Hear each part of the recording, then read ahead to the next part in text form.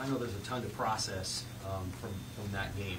What thing stands out to you most um, about the thing that you liked about what you did and the thing you'd like to have back?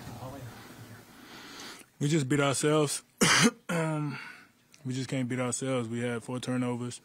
And in the game, you have four turnovers, and it's going to be a close one. So we just got to protect the ball, just play our football.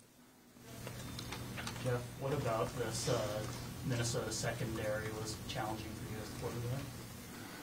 Um, credit to Minnesota; they're a good team. Um, I just, I just got to make better decisions with the ball.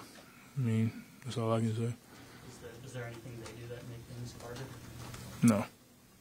Hey, the last, the last interception, um, you're going for Marcus there, you know, you guys are trying to get in position to kick a field goal to win the game.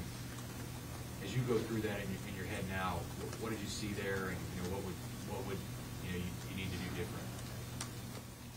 I just got to find a middle safety.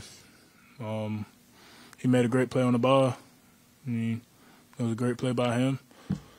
I just got to protect the ball in that situation. Couple more for Jeff. Did, did you anticipate um, the game plan tonight, running the ball so much as you, you did? I mean, you, you were kind of like a Jalen Hurts, a single wing kind of guy out there at times. Did you anticipate that? I never really anticipate the game. I just go out there and play. So um, whatever I'm needed to do, that's what I do. How do you feel about that part of your game tonight? I mean, it obviously wasn't enough to get the win, so Did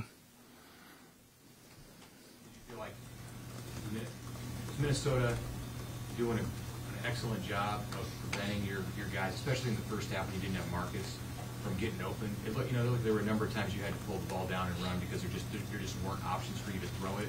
How did you know? What did you how did you do you assess that? like I said, Minnesota is a great team. You can tell that they're um, they're very disciplined on defense. Um, credit to them. They're they're one of the better defenses in the conference. So um, credit to their defense. Um, but we just got to execute on offense. All good. All right, thank you.